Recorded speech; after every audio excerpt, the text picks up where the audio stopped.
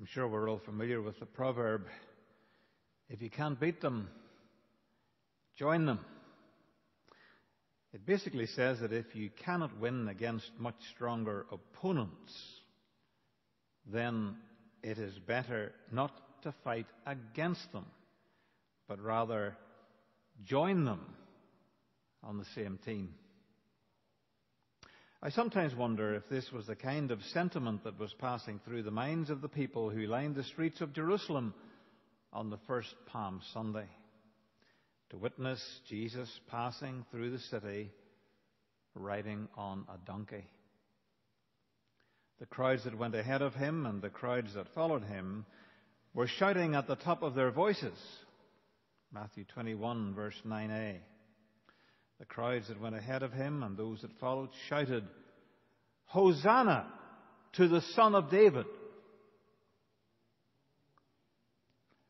The term Hosanna is a celebratory prayer for salvation.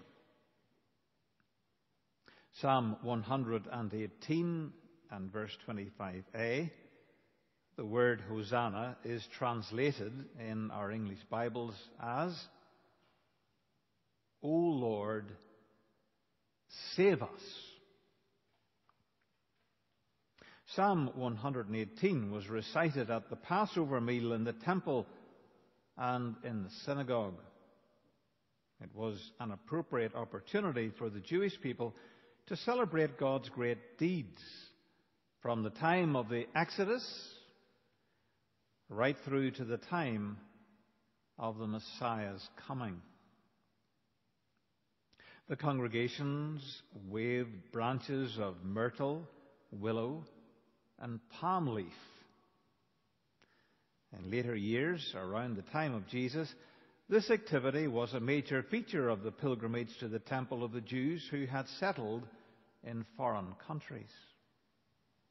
It was sung as the pilgrims came up the hill to the temple to celebrate the goodness of God and offer gifts in thanksgiving for their prosperity. This celebration, like the Passover, was a fitting way of remembering their salvation from slavery away back in the land of Egypt. Part of the ritual was like going camping. Men would sleep out and eat all their meals for seven days in roughly constructed shelters made of branches. During this time, except for the first day, which was a holiday, they continued their daily work. The ritual was repeated to remind the Jews that when they escaped from Egypt, they had to live for a time in rough shelters or in makeshift tents the people brought branches to the temple to take part in the celebration. When Jesus came to Jerusalem at the time of the Passover, he was welcomed with the waving of branches and palm fronds. Those in the crowd who shouted and waved the branches must have had very high hopes that week which began when they shouted, Hosanna! Remember the translation? Lord, save us. This was an expression of the messianic longing of the people. On the first Palm Sunday, Jesus was greeted by the people as the Savior, as the Messiah, who is a king has come to save the people, to deliver them, to set them free from captivity.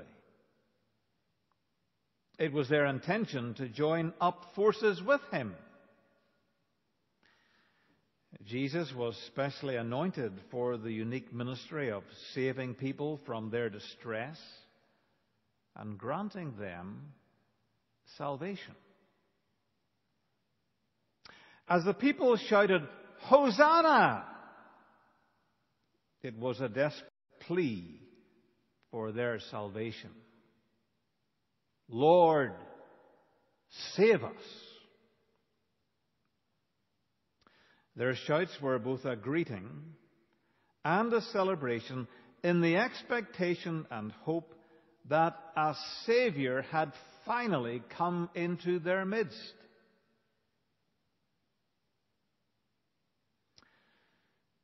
Some of the people in the crowd, I suspect the majority, got the wrong end of the stick, as we would say. They thought Jesus was going to save them from their Roman oppressors. They saw Jesus as a political deliverer.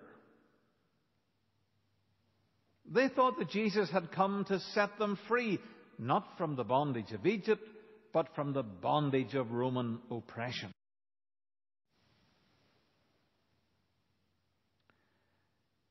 But that was never the mission of Jesus. Remember his name and what it means?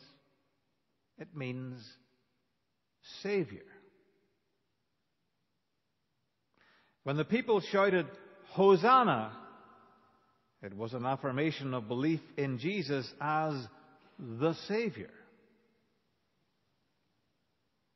The mission of Jesus, as we well know, was to save people from their sins and grant them salvation, not to deliver them from political oppression. Hosanna!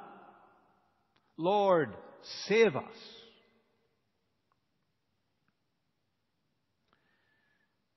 Today in our world, there are many people who are crying out, Hosanna! That might surprise you. You probably have never heard anybody say Hosanna. I don't think I have, apart, of course, from church when people read the Bible and that kind of thing. So, what on earth can I possibly mean when I say people are shouting Hosanna? They have no idea that this is what, in reality, they are saying. They would never use the word Hosanna in their everyday vocabulary. And they would barely recognize the word or know what it means. And yet, in a strange way, that is what they are saying. Or should I say, shouting. When they say something like this, save us, they really are shouting, Hosanna. Many people may not be crying out to the Lord to save them, but in their desperation they want someone or something to save them from the stress of their extremely difficult circumstances. So what do they do? They look to political leaders. They even look to church leaders.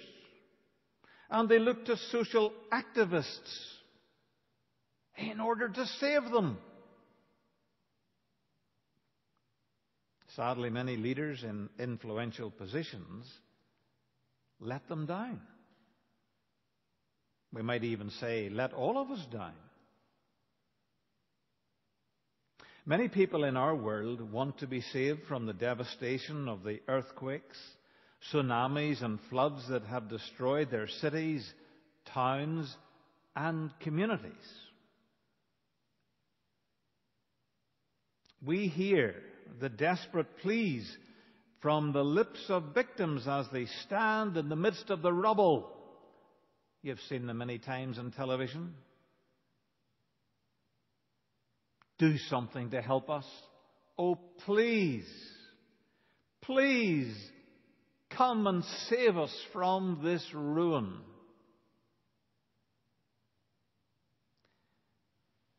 It really is a dreadful sight And none of us enjoy hearing their pleas for help. Please save us. There's a sense in which they are really shouting, Hosanna. People want to be saved from environmental catastrophe brought about by human greed and from the threat of violence in their communities. The cry of so many people in our broken world these days is, Save us! Come and save us. We've all been deeply distressed as we watch the news of those scenes over in Ukraine. Bomb after bomb in many of the cities and hospitals and other places where innocent people are gathering together. Those scenes are horrific. And again, we've heard these wonderful people from Ukraine utter words in their own language, which really mean, save us.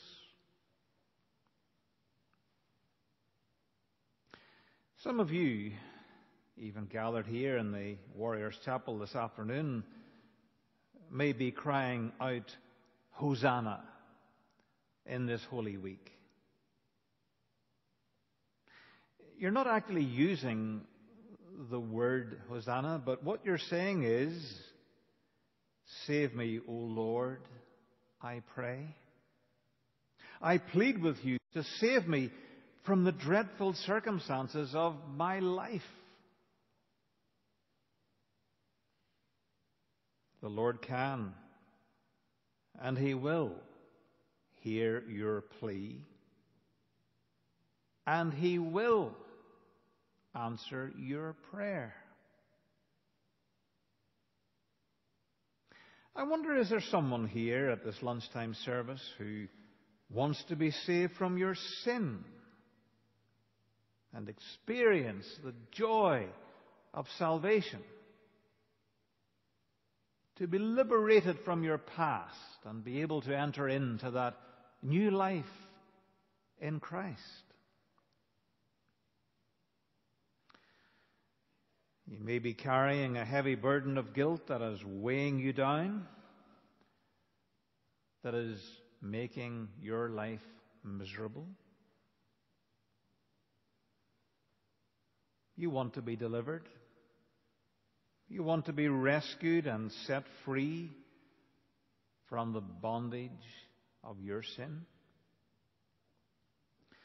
May your prayer this afternoon be Hosanna! Save me, O Lord, I pray. The Lord Jesus, as the Savior, will hear your prayer and He will save you from your sins today. He will set you free and He will give you the gift of His salvation. Hosanna! Lord, save us. Don't try to beat the power of your sin any longer. But instead, join up forces with Jesus, the conqueror, the Savior, and follow him. Amen.